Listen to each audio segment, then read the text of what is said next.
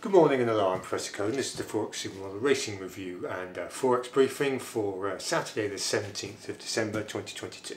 It's a sort of Christmas edition as well. So uh, anyway, we've got no racing for yesterday to review. Uh, so the account static at uh, plus 50.6 units in profit from a peak of 72.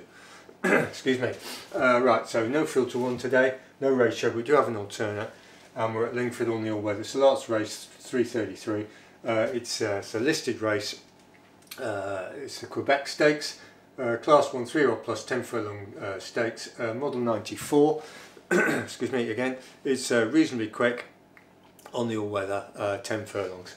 and and the, the six in the race, um, the first four, 1 to 4, um, Algiers, Forest of Dean, Harrovian and Tyson Fury all raced in the Churchill Stakes on the 12th of the 11th uh, which is another listed race at Lingfield, and um, uh, that that uh, uh race uh, is uh, carved up as follows really. So they're coming in off the back of this this listed previous race, and um, what are we talking about? So so Algiers is the likely favourite.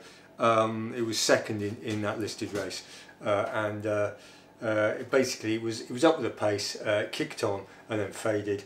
Uh, relatively easy trip. Uh, the sec the third horse, uh, number three, Harrovian, uh, third.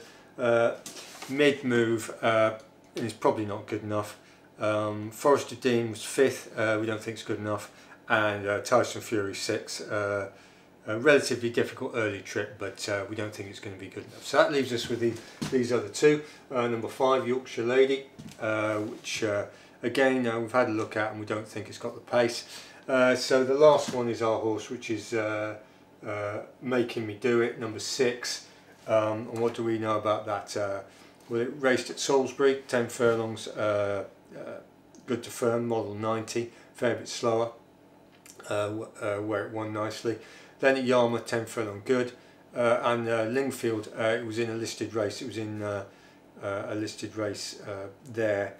Uh, which was very strong. And if you look at that uh, that race, it was, uh, as we say, it was very strong, a lot of strength in depth, and uh, uh, making me do it is is a is an A mover in our terms. So it's it's it's got the right credentials. It's a three-year-old filly, so it gets it gets a three-year-old allowance of two pounds weight for age. It gets a five pound sex allowance basically for being a filly against colts uh, so it's got seven pounds. Uh, it's got Hayley Turner on board, uh, and it's uh, it's a nice horse generally. Uh, and if you watch its last uh, its last run at, at Lingfield, it, it, it won very nicely and is an A mover. So what have we done? We've done four pound per eight pound units. That's four hundred pounds on at nine to one, and we've got it. we've cascaded the places on that. Uh, so we've got a pound on three places at about 10 to 11, just evens more or less.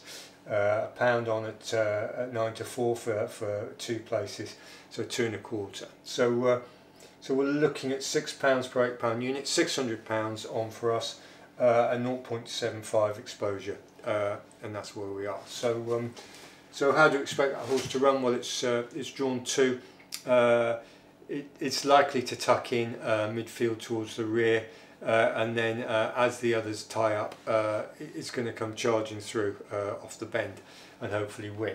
Um, this horse Algiers is likely to uh, is likely to be up with the pace and try and kick on like it did in the last race and try and hold on this time. But we don't think that will happen. So anyway that's that's what we're doing. So we're going to go. We've got a cascade each way on this number six make making me do it, uh, three-year-old filly, which uh, looks to be improving and has all the uh, attributes of, uh, of a decent horse. So uh, that's there. Forex, um, Forex we didn't have a go yesterday uh, and we're sort of building a case for next week. so we'll keep you briefed up on that. but um, but generally things are moving on on the forex market for us. So so in terms of uh, scaling up and all the rest of it. So uh, anyway, um, you have to let us know in the comments if there's anything in particular you want to talk about on forex market.